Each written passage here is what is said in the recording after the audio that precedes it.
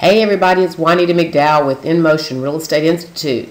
And I want to tell you a little bit about font colors today. I got an email message from a student asking, how do I change my font color in email message? So let's talk about font colors and changing the styles and the ways we can go about doing that.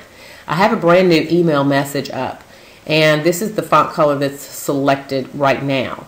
But when I start typing, if let's say I want to change it to a red, then I can do a couple of things to do that. Number one, I could click the drop down arrow and I can change red. Of course, I have a selection of more colors, but let's just say red.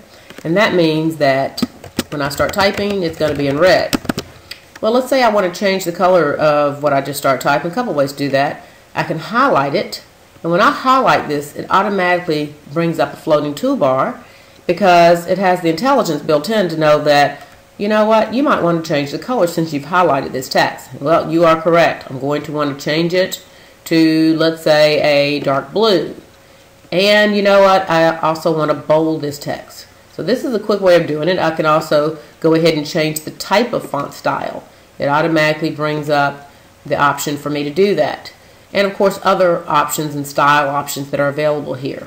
So I can click out anywhere outside of the toolbar and I'm ready to go. But let's say I want to change that color again. Well, there's a couple of ways to do that. I can come up here to the main standard toolbar and I can click the drop down arrow and I can change it to purple if I want to do that. Now it's bolded. Let's say I don't want to have it bolded. Well, let's do, give you a shortcut key there. Control B takes away the bold. Alrighty.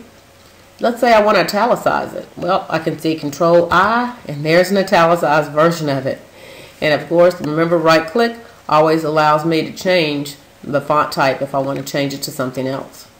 I hope this tip helps and hope to see you in an Outlook class with InMotion Real Estate Institute.